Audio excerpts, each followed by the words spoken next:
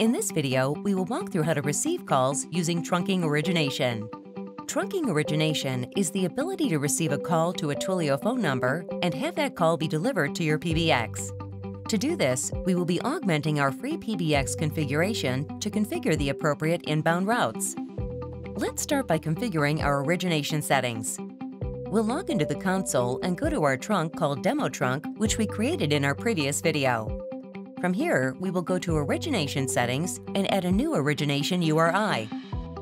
We'll point Twilio to my IP address 192.241.205.250 and we'll leave the default priority and wait settings alone.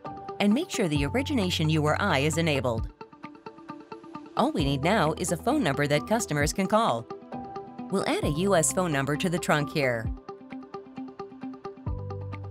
And we're all set.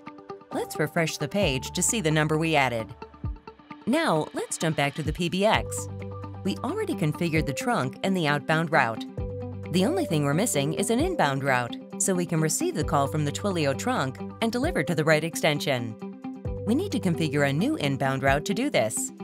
We'll call it Trunk to PBX. For simplicity, we'll ignore the DID number and caller ID setting and we'll set the destination to routed to my extension and the extension to 415. Let's test it out.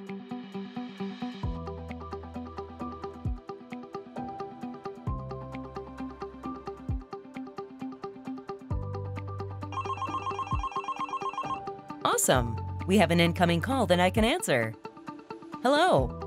Now we have a two-way call from my Bria client to PSTN. Check out our next video where we'll set up our PBX to receive calls from around the world.